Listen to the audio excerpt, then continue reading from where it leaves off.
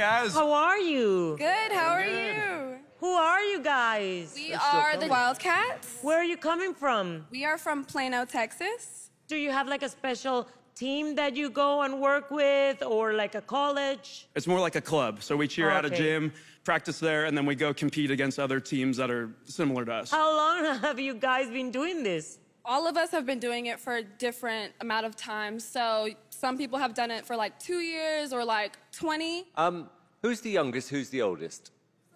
Tyler? I'm the oldest, unfortunately. How old are you, sir? Um, almost 30. Okay, well that makes it more interesting. And the youngest? I'm 13. 13. wow. Wow. Okay, we're very excited that you guys are here. We have no audience, but we're gonna be cheering for you guys. And I think they're gonna be cheering for us. Yes. Okay, go ahead. All right, we're ready.